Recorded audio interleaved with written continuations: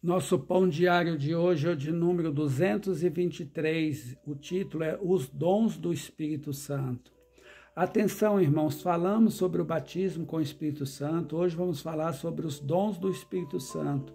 Quero que você se sinta à vontade. Se tiverem dúvidas, me chame no privado. E peço para você também que compartilhe essa mensagem com aqueles que ainda não têm o conhecimento dos dons do Espírito Santo. A primeira pergunta: você crê que, é, que aleluias, louvado seja o nome do Senhor, você crê no que está escrito na Bíblia?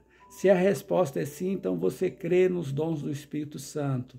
Quero hoje dizer a você o que o apóstolo Paulo disse.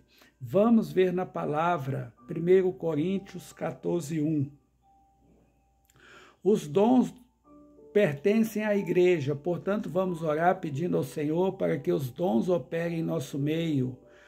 Você já sabe sobre os dons?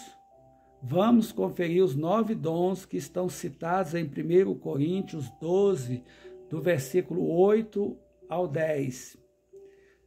São nove dons. Primeiro, palavra de sabedoria. Segundo, palavra de conhecimento. Terceiro, fé. Quarto, dons de cura. 5. Operação de milagres. 6. Profecia. 7. Discernimento de espíritos. 8. Variedade de línguas. 9. Interpretação de línguas. Agora vamos fazer uma subdivisão dos dons para que você possa entender melhor. Aleluias. Dons de revelação é palavra de conhecimento, palavra de sabedoria e discernimento de espíritos.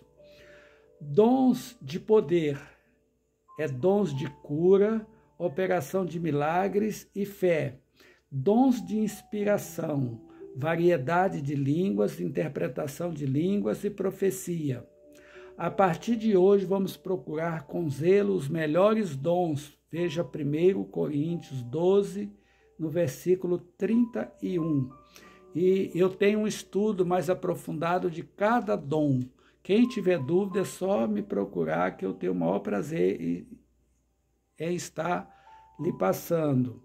Meu Deus, em nome do Senhor Jesus, eu te peço, abra os nossos olhos para que possamos ver a tua grandeza, abra os nossos ouvidos para que possamos ouvir a tua palavra e abra o nosso entendimento para que possamos entender qual é o propósito do Senhor para as nossas vidas. Amém e graças a Deus.